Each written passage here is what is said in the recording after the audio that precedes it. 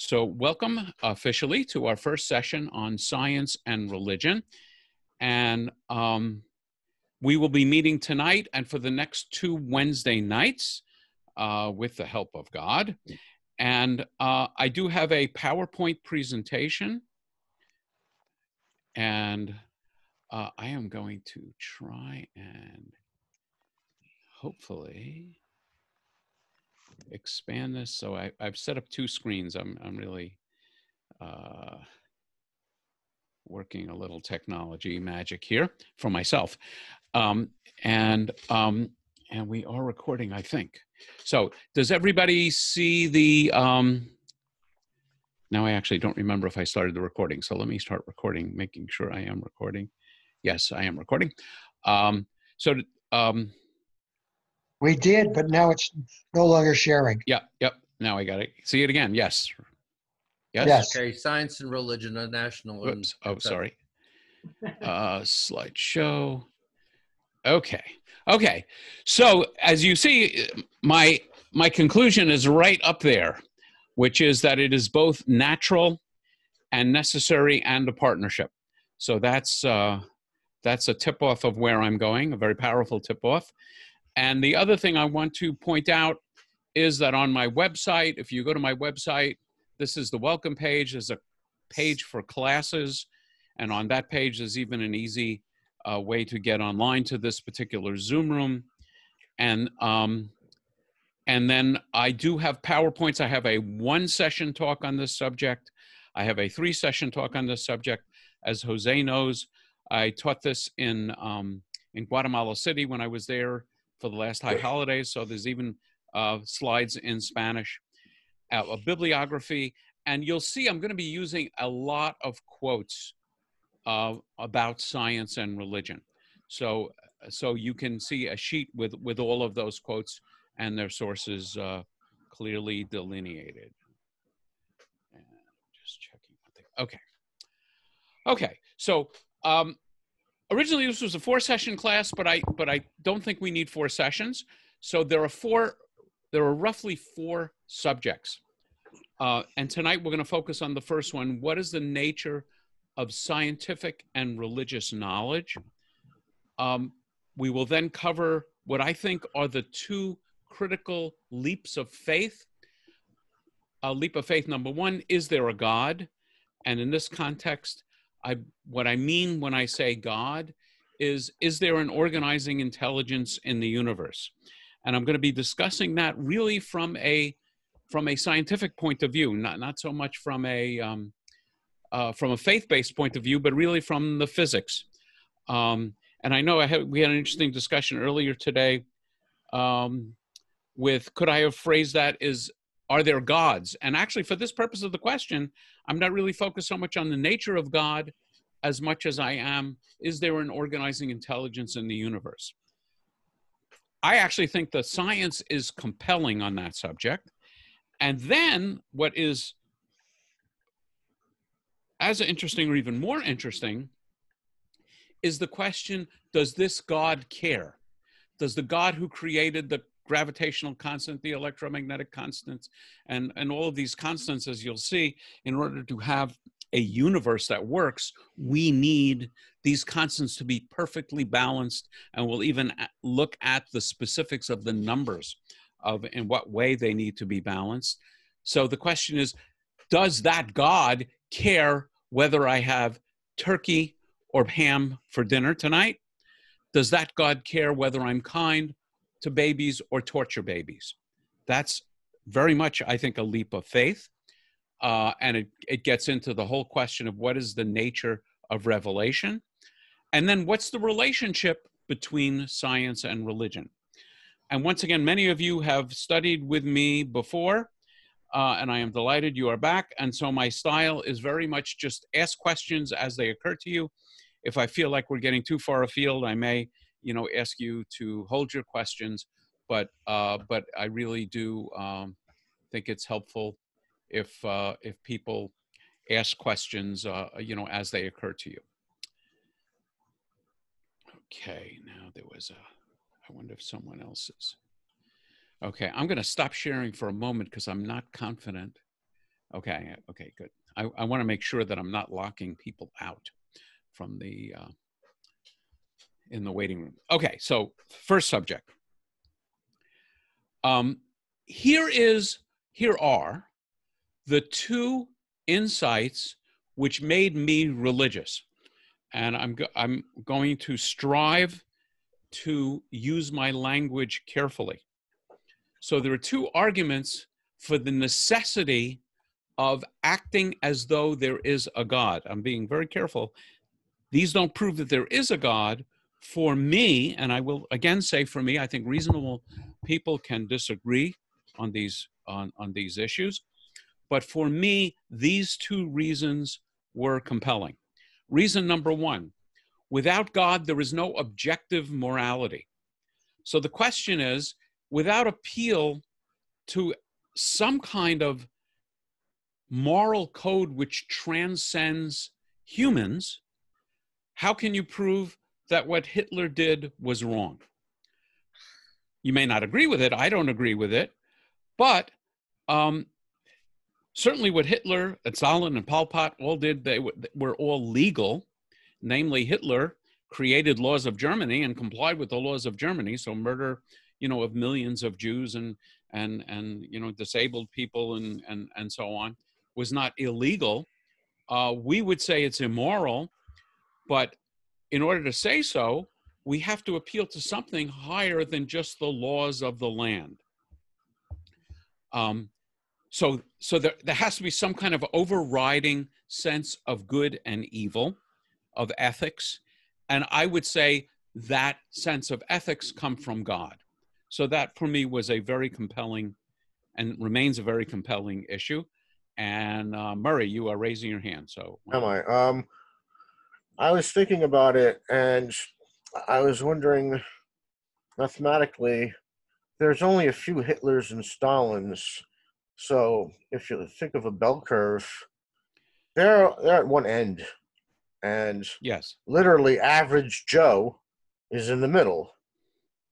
So there's a lot more average Joes than Hitlers. Yes. So uh, yet, that, that, I, I agree with you, but I don't think it really addresses the question of how do we decide what's right and wrong, good and evil, appropriate behavior or inappropriate behavior. Um, Howard, Rabbi. Um, the the Hitlers and the Pol Pots may indeed be uh, few in number, but in order for them to do the horrific things that they have done, uh, there needs to be a huge number of uh, average Joes and Jones who go along with it. Mm-hmm. Um, and that also represents a, uh, a moral stance or a lack of one, but nonetheless falls into the category of morality. Yeah, uh, and, and people have observed that people who saved Jews, to be very specific, in Nazi Germany were not acting rationally or reasonably. If they were acting rationally in their own self interest, they would not have risked their lives to save the lives of Jews. So, so again, many would say they were responding to a higher ethics. So, my question then is what is the source of those ethics? Or maybe put more precisely, if there is no source of ethics? Is there really a higher source of ethics, or just who wins the war? Um, uh, Larry. Well, just it may well be that over the centuries, uh, people de- developed a sense of morality based on how people responded to what was occurring. Because yeah, how's that? how's that working out lately? Yeah. Well, it depends. Uh, that doesn't mean people are adhering to that morality, okay? But what, in effect, what you're telling me is that I, I believe I have morality. Right. I believe I live according to a moral code. Right. I have no belief in God. Yeah. So I, what, what I'm not saying is, saying in effect is no, but society, those who in, who believe in God, have influenced me. Yes, I that that that's exactly what I'm saying. So what I am not saying, and I'm glad you raised it, I am not saying that to be moral you need to believe in God and that religious people are moral and that irreligious people are immoral. Uh, so I'm glad you you clarified that. Uh, let's see. I think uh, Bryce. I think there was somebody else ahead of me. Uh, yeah, I don't. I do- actually don't have in this mode. I don't have an order, but uh, uh, let's not worry about it too much. Okay, all right. Um, well, I, I would simply say that um, that there's a an evolutionary effect that morality would evolve along with human beings uh, living together, and that the morality is a way that human beings can live together. It is imperfect, but simply because God has pronounced a certain morality, how's that working out? Yeah. So so I I agree with you there, um, except in in my own way of thinking, I really don't trust humanity. Uh, as as difficult it is to trust God, I trust humanity a lot less. And we're going to talk about that. Experiments like the, um, um, oh gosh, I can't remember now. The um, uh, experiments about about human morality. The um, I, I understand when you're you're talking about the the uh, experiment where psychol- people were tortured. yes, yes. or Milgram. they were pretend Milgram. Milgram, yeah, thank you. Mil- Milgram. Milgram experiment, right, right. Okay, uh, I'm just now looking at uh, uh, the the list and Jerry. Yeah, so I, you know, I, I, I'm looking at this and I'm saying, you know, defining things sometimes helps. So we're talking about a moral system, effectively, right?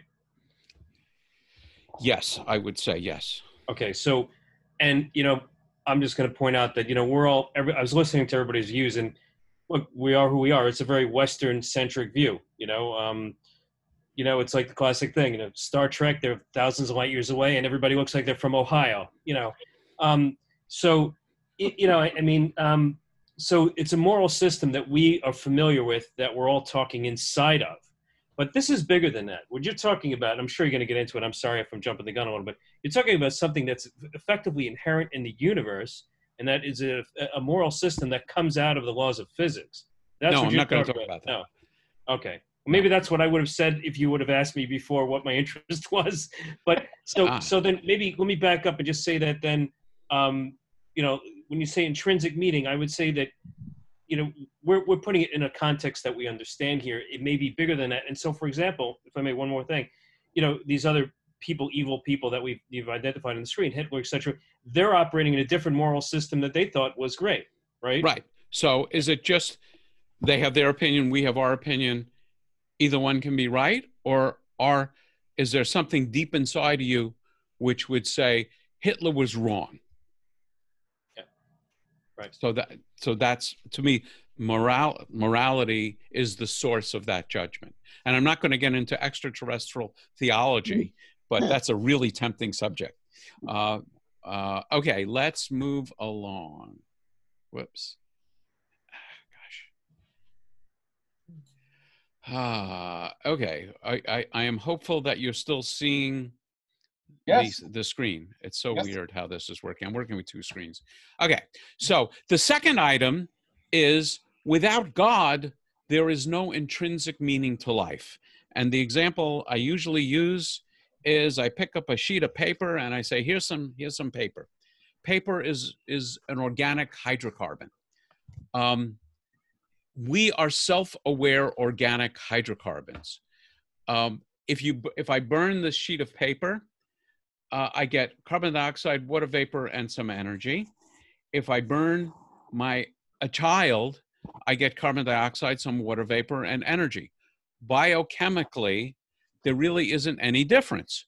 So, if the only truth is physics and science, then we are an incredible cosmic accident. And we're going to spend a lot of time looking at what's the probability that that accident took place and and you know how confident do we feel that it's not an accident that it's guided? But let's say we conclude you know through multiverses there's a couple of arguments against uh, what i'm going to talk about. Um, let's just say it's an accident. If it's an accident there is no meaning to life. We are living in a biochemical accident. I can't prove that's wrong. I just refuse to live my life as though that's true.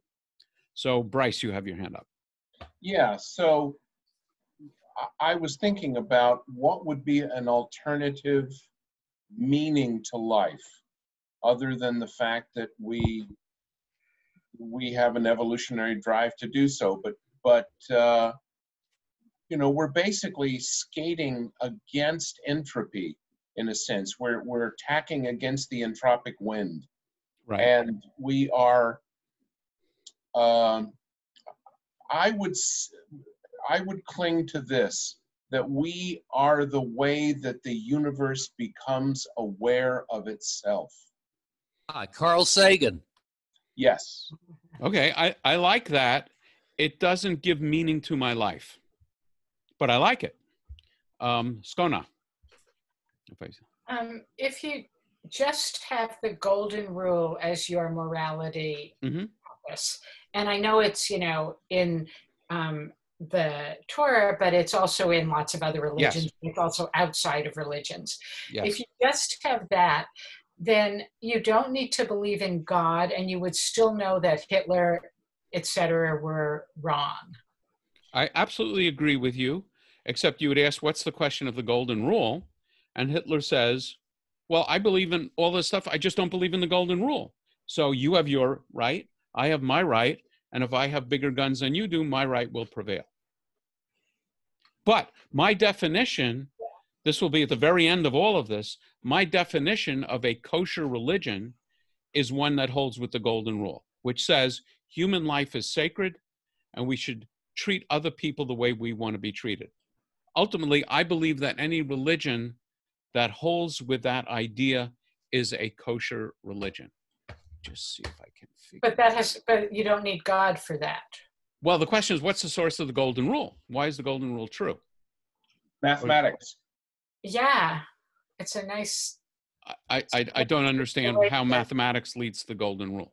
well you get the golden mean I, I understand the law of averages, but Hitler, Hitler said, "I'm going to treat Germans well, and everybody else I will kill and get their stuff." And you know, you could argue survival of the fittest sort Well, of he's says dead the same. now. I'm, i mean we we No, he you know lost. wrong we he killed him. lost, but the question is, was he wrong? Well, well, well, he was wrong because the world rose up and killed him. So Yeah, if the world that's- hadn't rose up and killed him, you would argue that he was right, or that his morality was the same as ours. I didn't agree with it, but but I no, don't. but that's the only difference. You just don't happen to agree with it. well. th- In other words, it's not more significant than your favorite ice cream. well, whether you no, I I would say this. I w- I would answer with this that that that his behavior led to the downfall of his own society. That if a society's moralities and ethics are not uh, sufficiently consistent and humane, that the society will destroy itself. Okay, that's uh, that's you know a position that I wouldn't necessarily disagree with. Doesn't solve it for me. It's not. It's Um, not I- that- satisfying. I understand. Um, there are a number of people with hands up, and I uh, let's see, Ira. Okay, uh, back to the golden rule. Uh, as I understand it, do unto others as you would have them do unto you. Yes. Right? Unless you're a masochist. That's yeah, one yeah, thing. yeah. I don't think that's a second serious argument. thing, second thing, whether or not Hitler believed in the golden rule, he was doing unto others, and he would expect, therefore, that others would do unto him in a like manner, and they did. Okay, so but I don't think he would want them to do to Right. him and his family what he was Whether he wants it or not, that's what happens. But but that's the golden rule. So let me let Oh. me move along, and we'll never get But get he didn't, but he didn't consider Jews as people. Right. So uh, for me, the first part of the golden rule is all human life is sacred, Exactly. and you should treat others the way you want to be treated. Yes. Um, Murray, then uh, Yeah, I was, I was going to say, um, uh, as, as was mentioned about the mob mentality that's been shown uh, in psychology classes, the um, one, there's one that is not there. It's uh, Jim Jones. He had a cult of personality, and they thought he brought heaven to earth. Um, but I think what defines these people are not not that they're just statistical aberrations, but that they're not sustainable uh, because the Hitler's thousand year empire did not last a thousand years. Um, so I think if you want to talk about morality, maybe it has something more to do with cooperation, like bees or other animals that cooperate to put food on the table. well, the, I would just I would I would just whole... observe that the Germans cooperated and were very organized and methodical but it wasn't about murdering Jews. Well, it, it was it wasn't sustainable because of force of power. Had they, I'm actually reading a book right now, uh, which is sort of a what if book. Had the Germans won, and could have happened. Um, Skona, and then I want to move on. Oh, I need to put my hand down. Sorry. Okay, okay, I can actually help you do that. Okay, let me move on. Whoops. Okay. So I have a lot of quotes and I love them. I'm going to read a bunch of them, and in the, the collection of quotes, you will find them. So historians Will and Ariel Durant. There is no significant example in history before our time of a society uh, maintains a moral life without the aid of religion. And from George Washington's farewell address. Let us with caution indulge the supposition that morality can be maintained without religion. Reason and experience both forbid us to expect that national morality can prevail in exclusion of religious principles. Um, Einstein, I have a bunch of quotes from Einstein. To know the answer to the question, what is the meaning of human life, means to be religious. Uh, from Carl Jung, among all my patients in the second half of life, there has not been one whose problem in the last resort was not that of finding a religious outlook on life. And none of them had really been healed who did not regain his religious outlook. And here is my absolute favorite quote in ev- of every one of these, any one of these, from Rabbi Jonathan Sacks, who, if you want to read the book uh, that convinced me I didn't need to write a book on this subject, this is it. It's called The Great Partnership um, God, Science, and the Search for Meaning, Rabbi Jonathan Sacks, former chief rabbi of Great Britain. Science takes things apart to see how they work, religion puts them together to see what they mean. Good. Okay, so here's an example. Some of you may have heard me talk about this in the past. And uh, so uh, if, if you've heard me give the answer before, please don't volunteer the answer. So this morning I came uh, into my kitchen and the teapot was boiling. Uh, Larry, I'll, I'll, I'll, ask you of something quick before I get. Well, no, right, just it, in every one of those quotes, you talk about religion, but not God. Okay. Yes. Yes. All right. So, but but that, but I think we understand. Well, I understand those authors as understanding religion being God centered. Religion doesn't have to be God centered, but uh, but God, they may be God centered, but that doesn't mean God exists. It no, remember I remember I said none of those arguments prove God's existence. Okay. Yeah, yeah, Einstein. I don't think Einstein believed in a in a God like we're talking. Yeah, Einstein has a, a, a zillion quotes, and they go all over the map. So let me get back to this to to my presentation. So this morning I came into the kitchen and the teapot was boiling. So here is a question for all of you: Why was the teapot boiling?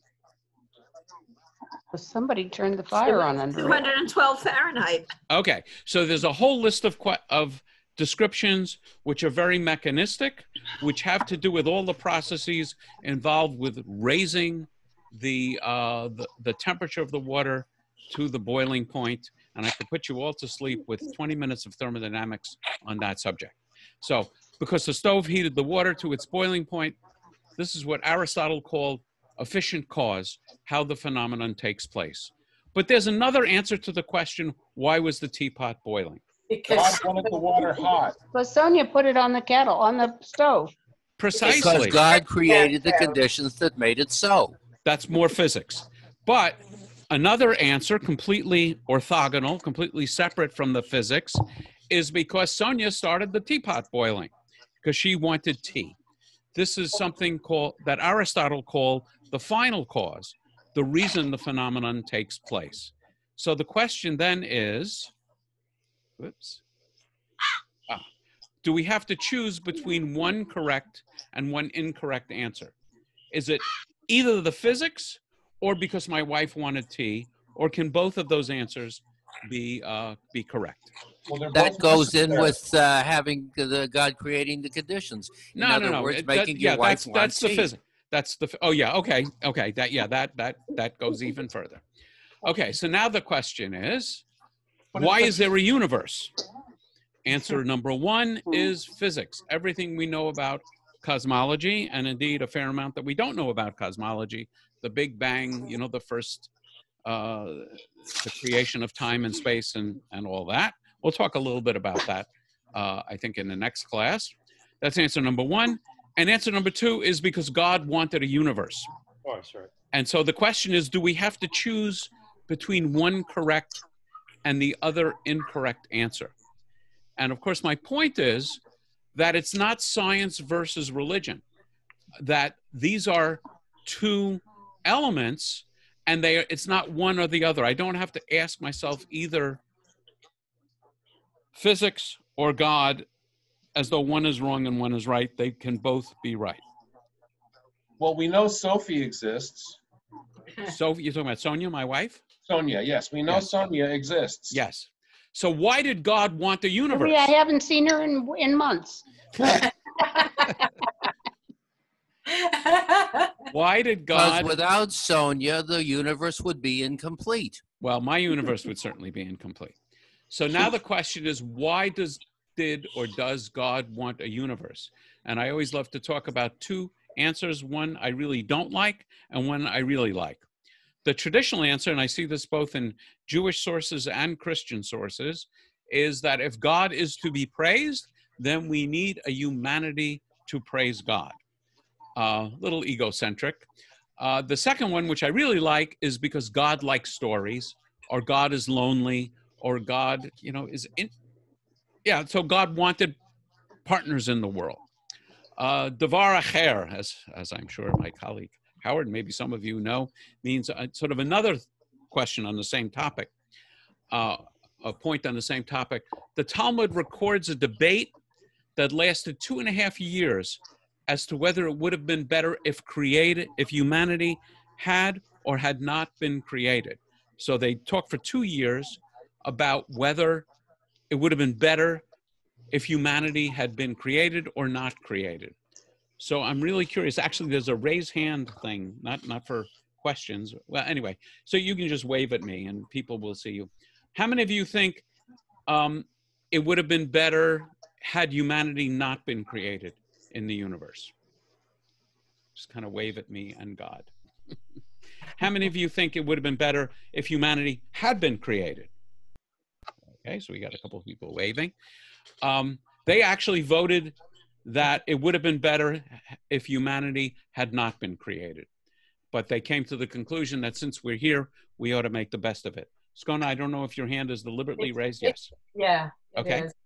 Um, first of all, I think that the second answer, God likes stories, is also egocentric. It's saying we're we make a good story, we make good partners, worthwhile, and all that. So it's also egocentric. Um, Oh, and I think it's a compliment. That's uh, it's very interesting. Okay, and um, the second thing is is this about the um, it would have been better if we weren't created. That sounds like the psychology um, research that proves um, that people who don't have children are happier. I mean, and they're quite sure of it. Those people who prove these things, these science, these psychological scientists. Um, but those of us with children don't buy it or may, maybe it's just that well we've got our kids so let's you know do the best we can but Eh, Yeah, yeah. So so actually, the the the like that and creating a world and having children you know god and us parents and children are very um what's the word analogous Yeah, yeah. There, there, there is an analogy. Maybe the direct analogy. I never thought about this. Is to ask parents whether they would have been happy, whether whether they would have preferred not having children. Um, not asking people you know, that do have children, don't have children. But but the, the, the point that I think is interesting is that the rabbis of the Talmud debated this. And by the way, you can bet that they all had children, or the, most of them had children. Um, uh, Ira, you have your hand up? I no. Okay. Yes, sir. Yes, go ahead. sir, indeed. Uh, well, I'm of the opinion that considering the way things are going, it might have been better if God had not created humanity. But one way to work that out is if the dinosaurs had not died out, and some of them were extremely intelligent by all accounts, and it would have been them that would be uh, uh, praising Okay, so God. so so I just so, I you just know, not us. yeah, so I somebody agree with so I agree with you, and the rabbis agreed with you. The rabbis basic, but but the point that the rabbis making were, here we are, we better make the best of it. Bryce, I was going to say that that if uh, if I think it's more likely that God likes neutrinos, okay, uh, because there's certainly a whole lot of them. But if if if the whole purpose is to get stories, he must be pretty patient because it took about 13 billion years to get here. what a guy. Okay, so let's move on. I want to talk about the difference between knowledge and faith. Knowledge in Hebrew da'at, uh, faith in Hebrew emunah. I have knowledge that this pen exists, that this computer exists, and I can test that knowledge using scientific experimentation. That's knowledge. Faith my faith in God, my belief in God is not quite the same. It carries a measure of doubt. So, both in Hebrew and in English, we have a difference between knowledge and faith. And that's what I want to explore. So, uh, scholars in this field talk about four different models of the relationship between science and religion. One is conflict. Either the universe was created in 13.8 billion years or six days. It can't be both, although there are some interesting physics ways of, of, of resolving that conflict, but that's one model. The second model is independence. Religion lives in a world over here, science lives in a world over here. They address different questions, and they, they really don't, we don't have to worry about uh, the other. In the world of science, I don't have to worry about religion. In the world of religion, I don't have to worry about the world of science. Third model is dialogue, that there's a that there is a a communication between worlds, and then the fourth model is integration, that both are in fact uh, necessary, and they talk with each other. And as you'll see when we come to the final conclusion in the class, my position goes even further than number four, in that I believe uh, and I, you know, I'm sure that we will have some interesting discussion on this. I believe I'm trying to get look at the chat room. Uh, I lost it. Okay, I believe that um, science and religion are in fact uh, necessary for each other. I would argue and will argue that science can't do its job without religion, and religion uh, can't do its job without uh, science. And Scone is asking where in the Talmud is that debate, and I don't know offhand, but it's not that hard to find by Google. And if you have trouble finding it, I will find it. Okay, thanks. Okay. Okay, more quotes. Uh, science investigates, religion interprets. Religion and science are two hemispheres of human thought. I'm going to skip some. From Jonathan Sacks, again, truly my hero in this world.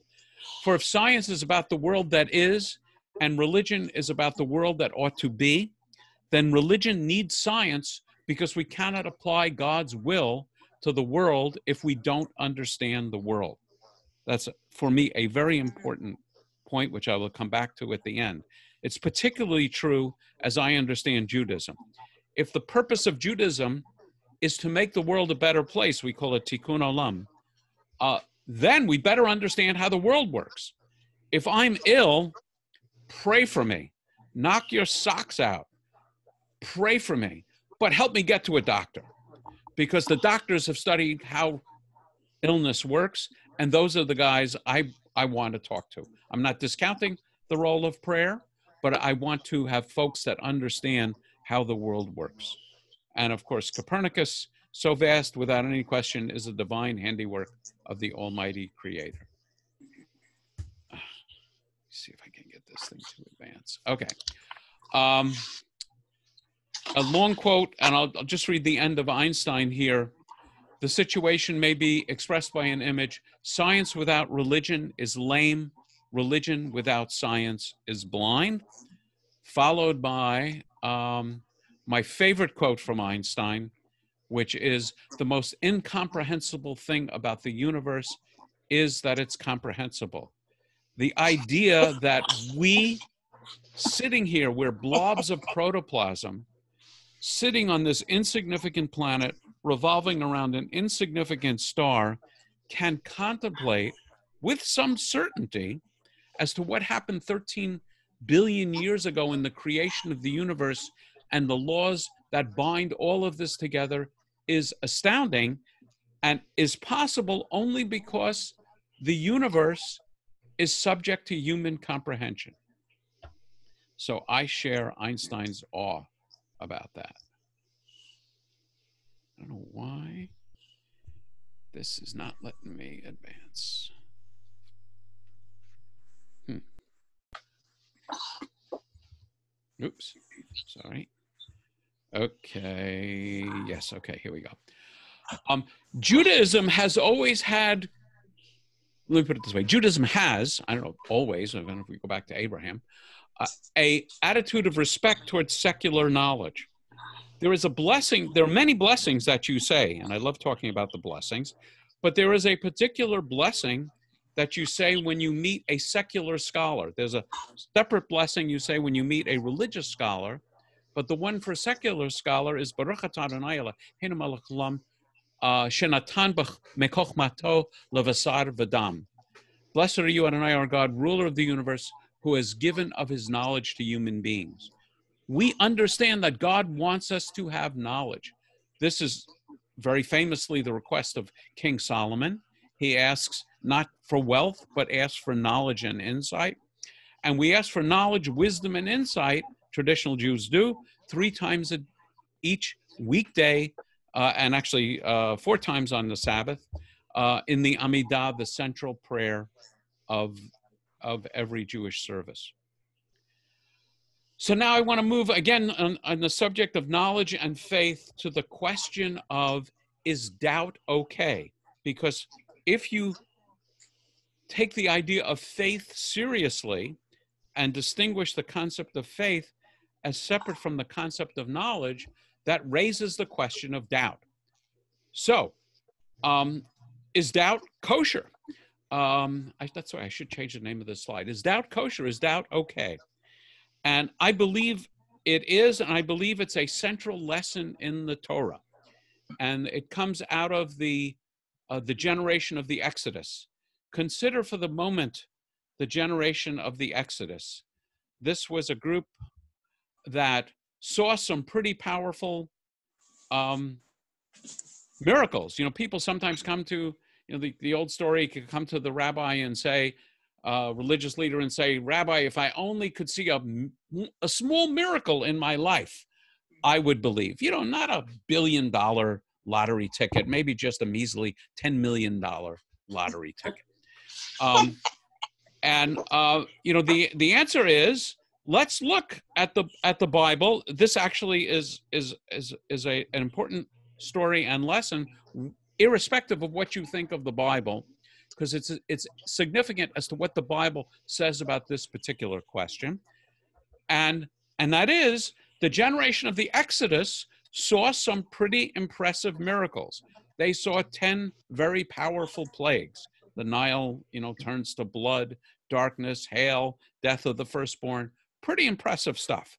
They leave. They walk through the waters uh, with the Egyptians chasing them and once they're clear and the Egyptians get into the waters, the waters crash in on the Egyptians. Very impressive. Now they're in the desert and they're getting manna from heaven. They're getting, uh, you know, uh, um, uh, delivery, food delivery services um, straight from heaven. Six times a day with a double portion on Friday. Uh, it's very impressive. They come to Sinai, and Moses is one day late coming down from Sinai, Yeah, and the people get Aaron, the high priest, for crying out loud, to make a golden calf and proclaim, This is the God that brought us out of Egypt.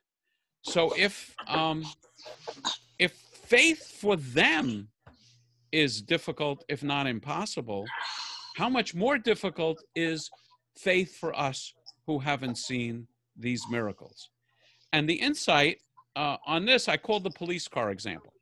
Let's say you're driving down the freeway.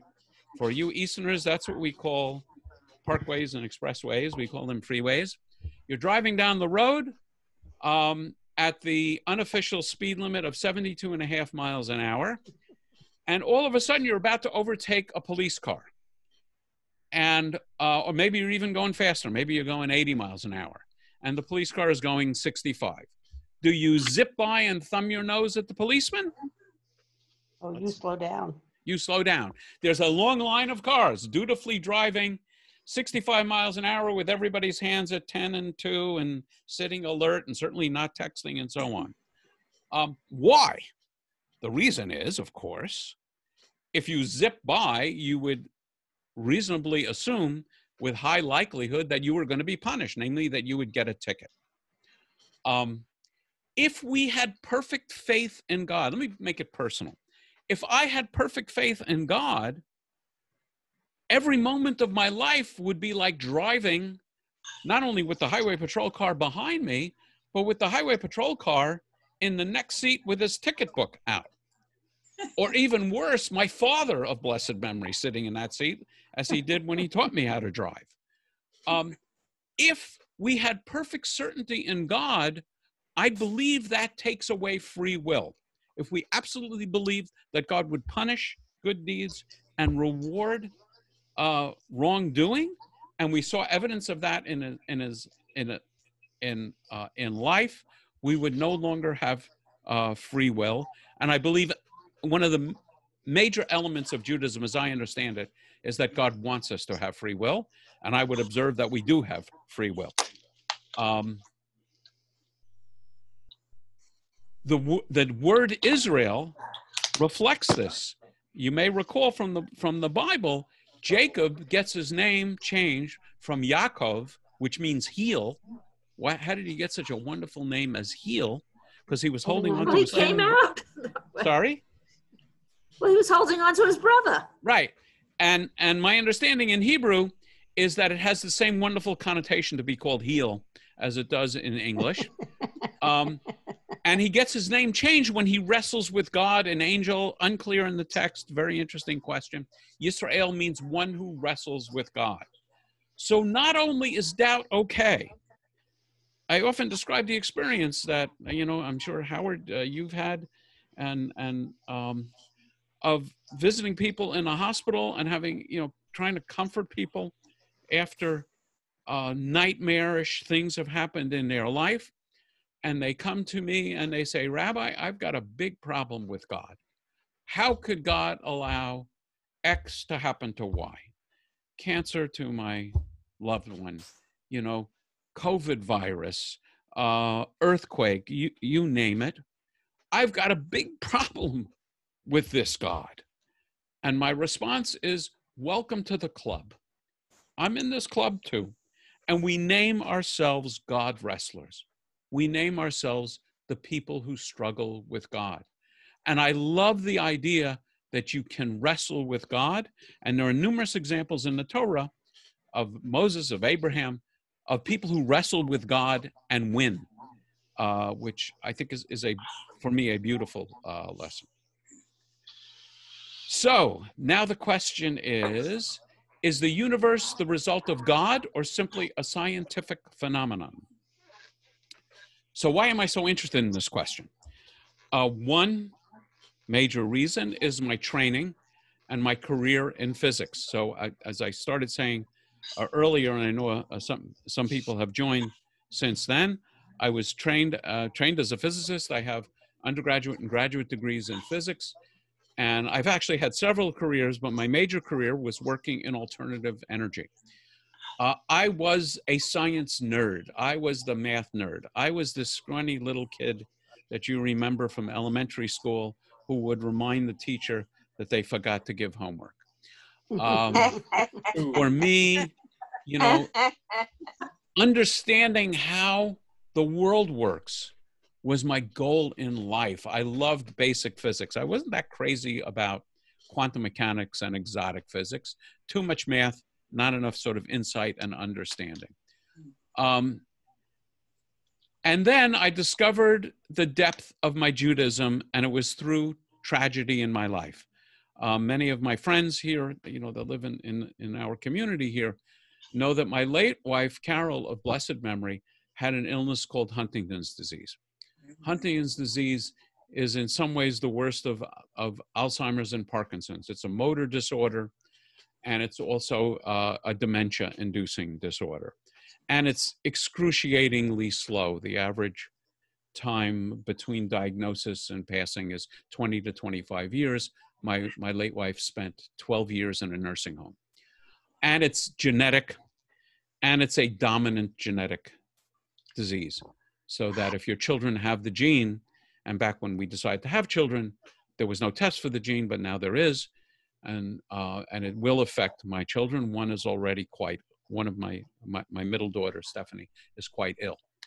Um, this raises significant theological questions and the need for answers, and I would say the need for comfort. And I had this sense fairly early on, because I, I could tell in her early 30s, in my early 30s, mid 30s, that she was going to get the illness because I knew what the telltale symptoms were. And I could see that this would be something that she would be developing. Um, and sometimes as I look back on it, I, I reflect that I needed a spiritual strength bank uh, from which I would make deposits and have made over the course of my life, and from which I have made some pretty hefty withdrawals.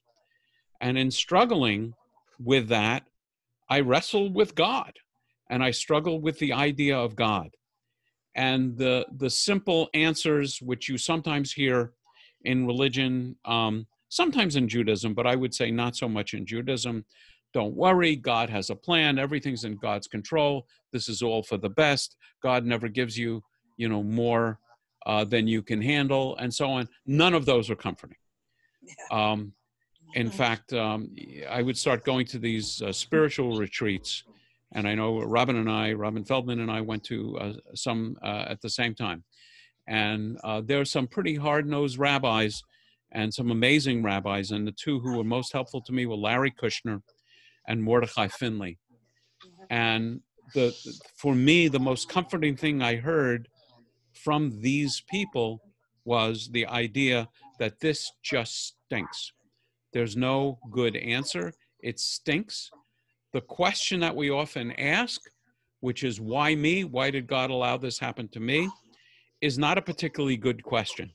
And it's not a particularly good question because there is no answer. And if there was an answer, it wouldn't be helpful. And what these rabbis helped me do is rephrase and come to what was a more important question, which had the, the twin uh, assets of being answerable and helpful. And that question being, what do I do now? How do I take what I'm learning how do I take what I'm going through and turn it into something that makes my life better and makes other people's lives better? And so that ultimately is what led me, as I look back, on to grow my interest in Judaism. So around this time in my mid 30s, I, who had been bar mitzvah but did almost nothing in being bar mitzvah, I never went to a high holiday service in my life we joined a, a Reform synagogue in Southern California, Temple Adat Elohim, and a few amazing things happened to me in that context. One amazing thing was I met a rabbi who was younger than I was. I never knew that was possible, uh, and until until that time, indeed, I had never met a rabbi younger than I was. And equally unlikely, in my understanding of the rabbinate, here was a rabbi who welcomed questions and welcomed challenges and welcomed discussions and had a sense of humor. And those those of us who have been, you know, at, at Adat Elohim for a while know that I'm talking about Alan Greenbaum. And so the more I learned about Judaism, the more I loved it. And so I started taking classes, and then occasionally I would teach a class, and I did, you know, did a, a lot of studying. And then at age 50, I applied to and was accepted at Hebrew Union College, and was ordained at, at age uh, 55. Uh, so that's why I'm interested in this question. Uh, and again, and I, th- I think I'm getting toward the wrap up of tonight's discussion, although we certainly will have our discussion.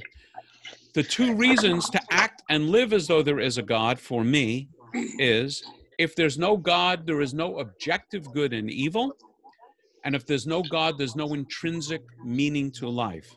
Again, emphasizing that these reasons don't speak to the question of whether there is or is not a God, but for me personally, they address the question of why I became religious.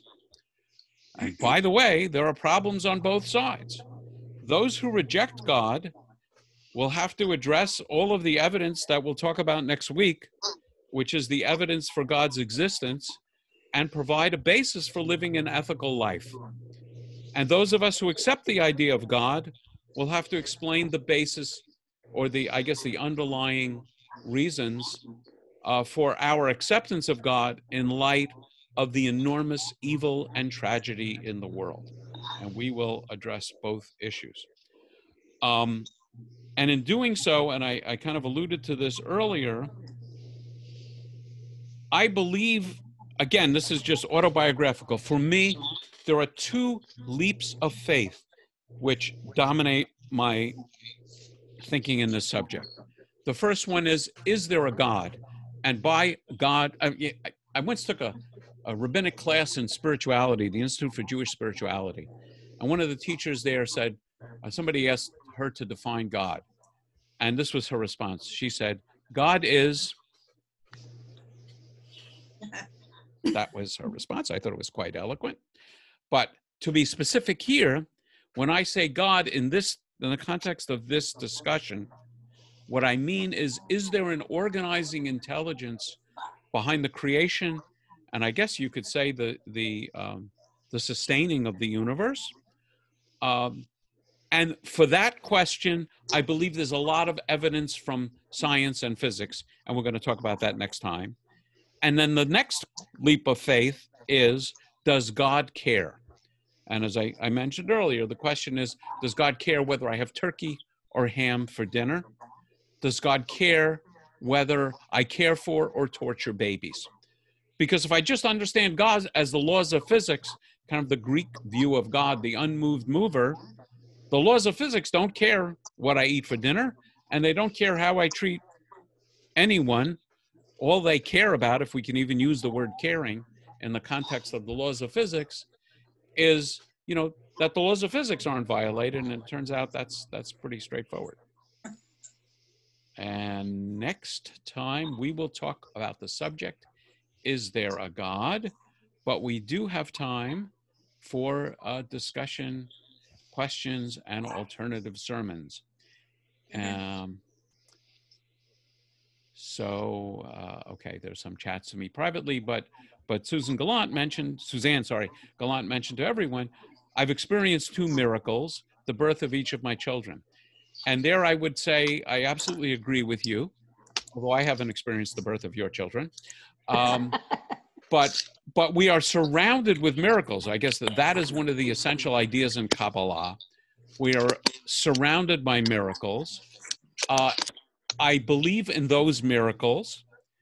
And there, there is a great story about two guys who were walking through the parted Red Sea. And they literally had their eyes in the mud. They were looking down and they were kvetching. Imagine kvetching. Uh, imagine Jews kvetching. Um, especially, especially in the desert. Especially in the desert kvetching or? Yeah, yeah. Oh, Um, so they were saying mud, mud, mud. You know, we used to make mud from bricks, and now now my feet are stuck in this mud. Oh God, Moses schlepped us. I don't think they actually spoke Yiddish in those days. Moses schlepped us out of Egypt. We're following this lunatic, and nothing good ever happens to us. Look at this mud. Who the hell knows where we're going?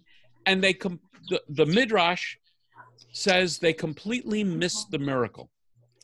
So, in the same vein, I think Suzanne would argue, I would argue that we are surrounded by miracles.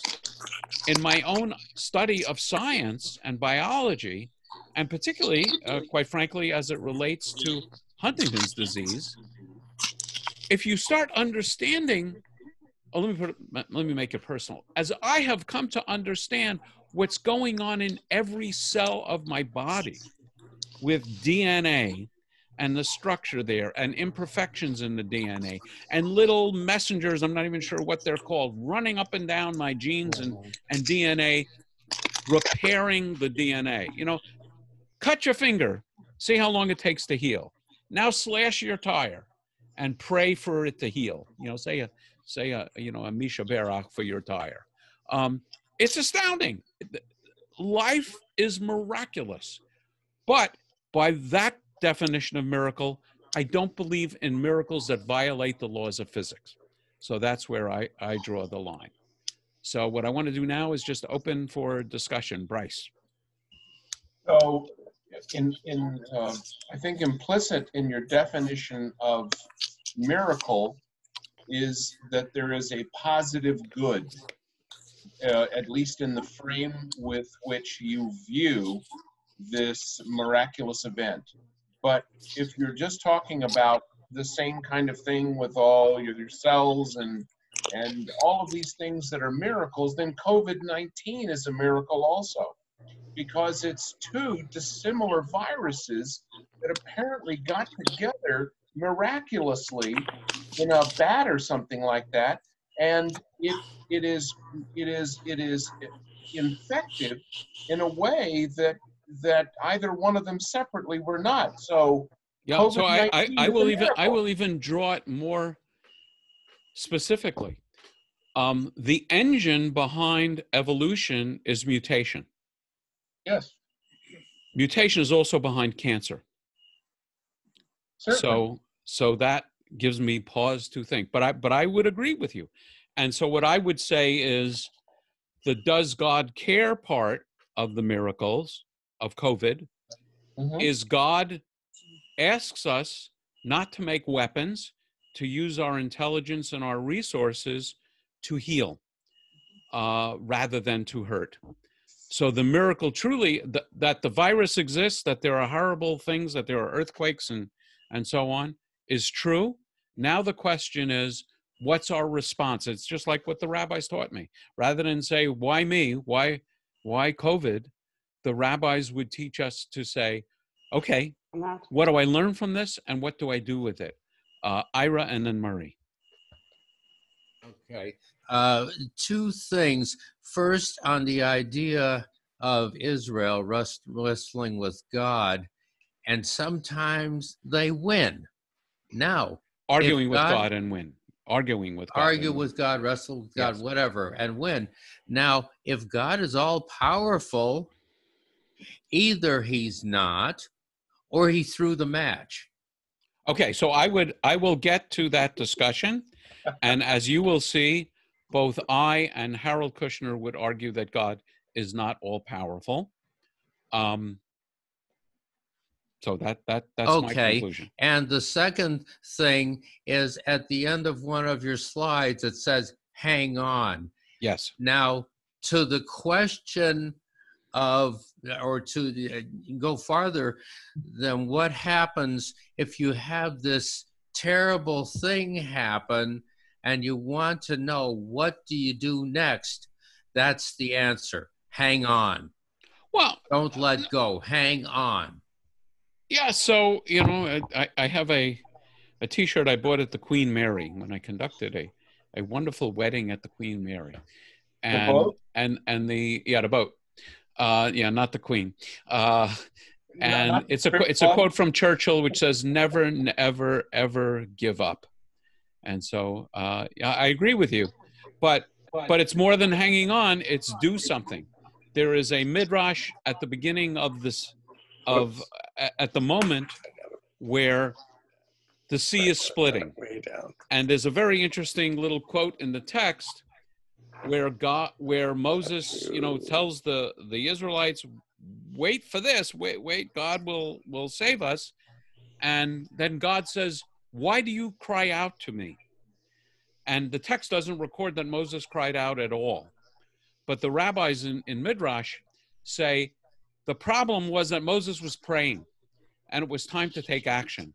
So there's a midrash of of Nachshon uh, jumping into the water and the seas don't part until people actually do something. So I would say don't just pray, do something. Murray and then Robin and Larry. Um, thanks. I, I must say that I don't believe in any kind of supernatural organizing intelligence, um, and certainly um, should not be referred to as he. Particularly in Genesis, it says he has uh, feminine and, ma- and masculine, and Right. there's other weird things like you know an our image, meaning that is plural, and Yes. all sorts yes, of yes. other things. Yes. But what I want to say is, when you put a, is it is it some kind of um, wordplay there? When you entitle something like "science and religion," I mean, how dare you, religious people, put your religious, you know, barbaric th- thoughts on par with science? And then the other half of me says, well, you, you you better watch. You know, you better not step on these people's toes, or they're going to throw you in jail with Galileo. So that's that part of religion that I really don't like is that they've been a hindrance to science for oh so, So do you do you like the part of science that the the Germans got the cost of murder down to half a penny a person? I never said that I don't believe in ethics. I just No, no, I- I just understand. Don't believe they. No, there's there's aspects of religion which I absolutely reject and hate, and there's aspect of science and engineering that I absolutely Well, let's put it this way: I can't define evil, but I know it when I see it. Yeah, but did Hitler know it when he saw it? I can only speak for myself. Right. So I know who, it when I see it.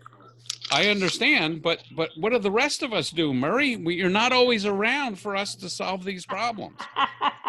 Well, Um, what do we, you know, it, it, on the other hand, what do we do when uh, when the religious people go nuts and start attacking us? Right. Absolutely. We we reject it.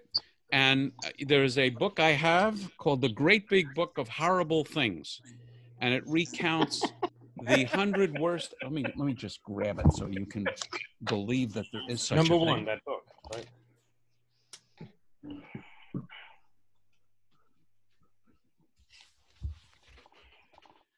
I don't recommend this book as a gift. but and it's it's big Is it uh, illustrated? and it recounts the hundred worst. Is it illustrated? Uh, no, but, it, it- but there are some Put it on maps. the 99 cent table. uh, it recounts the the the definitive chronicle of history's hundred worst atrocities, Yeah. and I don't remember the numbers offhand, but about seven or eight percent are attributable to religion.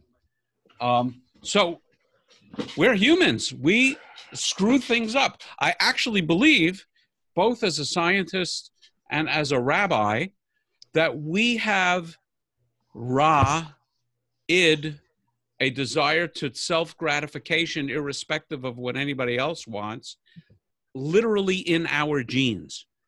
Uh, and I don't mean our, you know, our Levi's. I mean, I mean our our DNA, and I believe that's a consequence of being created in the image of animals. In uh, Murray in Genesis one twenty seven, God says, "Naaseh adam b'tzalmenu kidmutenu."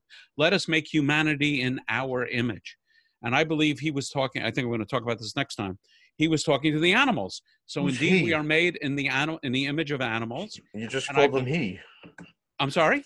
Yeah, yeah. So, so, I, so, so I can I, I can stumble, and I don't believe God is male, and I don't even know what that means if I believed it. Would that be saying God has a penis? Would that be saying God has X and Y chromosomes? Uh, yeah, that's I- kind of I- what that says.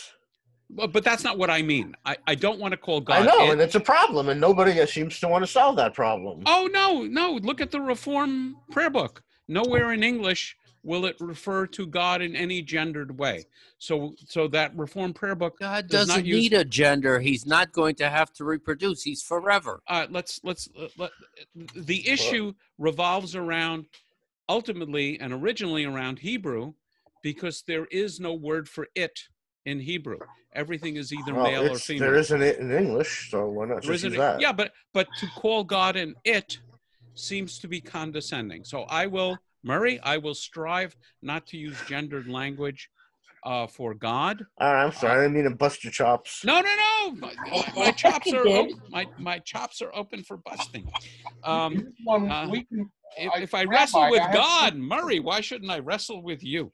Uh, but but no, but, but but more more fundamentally and importantly, I agree with you, and I try to discipline my speaking, and you know, and I, I I'm not one of those who will try in fifty percent of the time to refer to God as she. well, Um, well, let me just say this. hold I on a second, Bryce. There are other people. Oh, okay. Um, Robin, you haven't said uh, much. Yes, far. my comment is that Eleanor Roosevelt said, when the tough get going and you're at the end of your rope, tie a knot and hang on. Okay, thank you, Eleanor. Uh, and Larry. Mine is just a uh, comment regarding, as you know, you and I have different views of God, but you said something that I strongly believe in.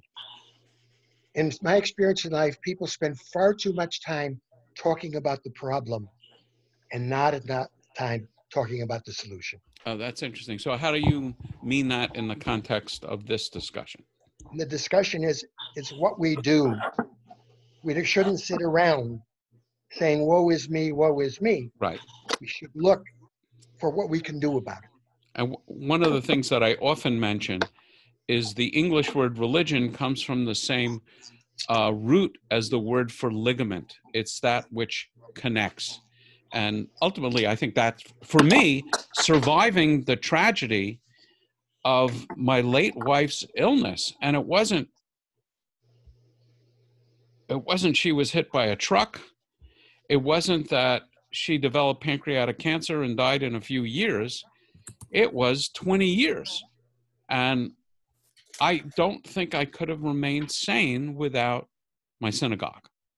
Um, it's autobiographical and personal, but it also taught me a valuable lesson, which is that the only time I felt human in the aftermath of that experience was when I was able to use what I had learned in that experience to help others, which is why I went from being a happily employed and reasonably well paid physicist to, you know, spend about seven years not working at all uh, for a gainful employment, uh, being a rabbinic student.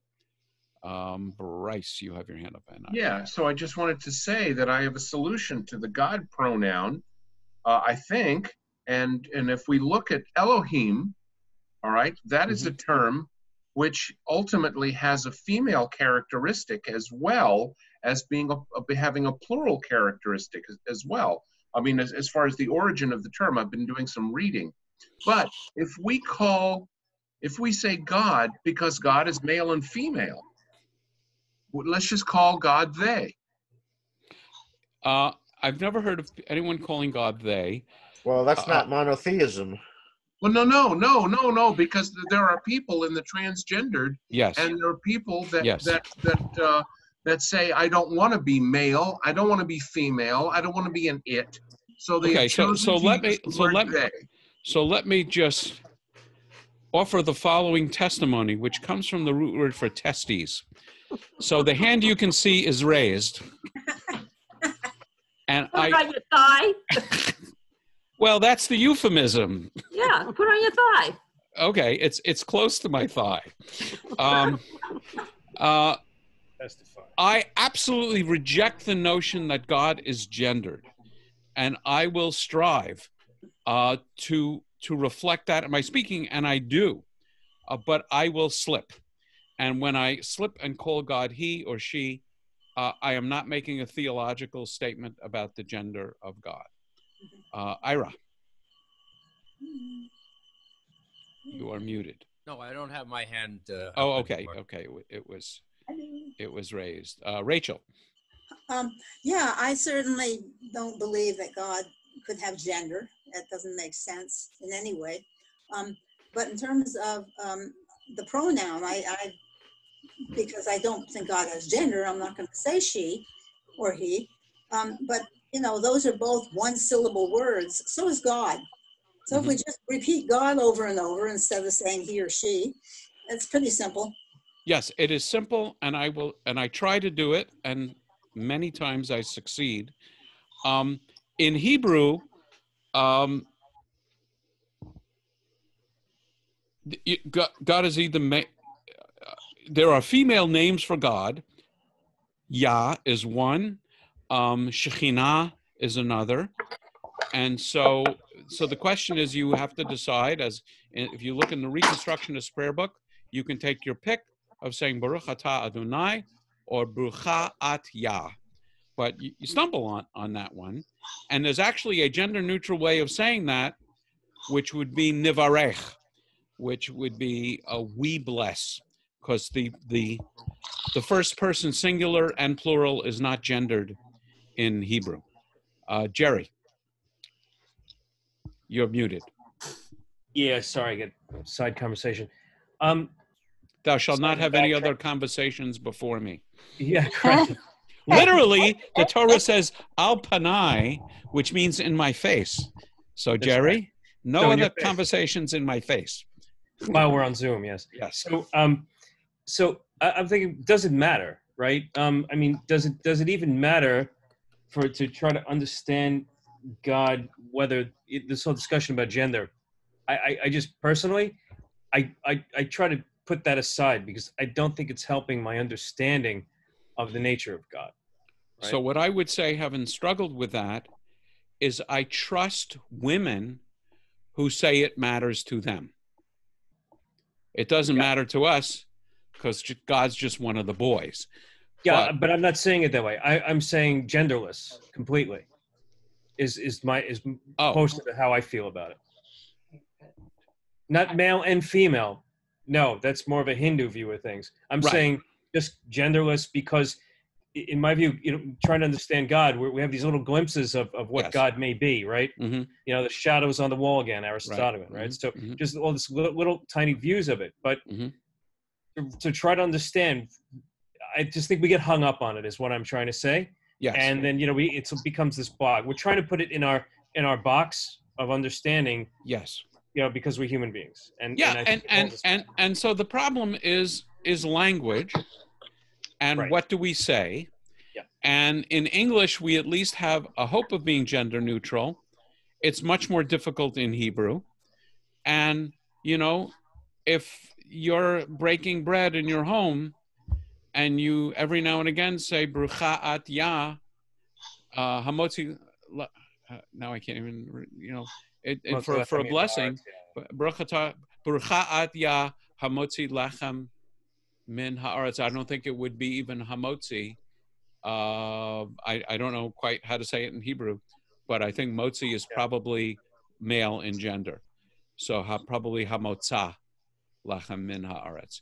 So do you want to struggle with Hebrew grammar every time you say a blessing? Uh, no I, I guess what i'm saying is Mhm. I, it doesn't trouble me how the grammar lays out and again maybe because i'm male and so you know yeah. I- So not- so I remember at Adat Elohim when we went to the gender neutral prayer book, Yeah. as uh, we in the in the rabbinate call it the gates of of gender or the gates of gray. Uh, there was a lot of controversy in our synagogue. I don't know, Howard, if you had the same experience when when um, when we went to gendered prayer books and and we stopped calling we stopped using the he's and that probably wasn't the big deal but instead of saying the lord is one saying the eternal is one you know people have deep attachment to certain phrases and so that's uh you know i th- uh, as as as my grandmother Right. used to say So- that should be our worst problem So I, I guess just one last thing I'll say then, it, it just you know we've struggled a lot with this in our Torah study group here in the you know in the East Coast, and you know eventually we just have to say okay, we all understand, let's try to understand. Right. You know, you know, like beyond that, right? Yes, And yes. and you know, it's like try to get over the edge of it. You know. Sorry. Okay. Thank you. Okay. Any other thoughts, comments? I'm gonna stop the recording.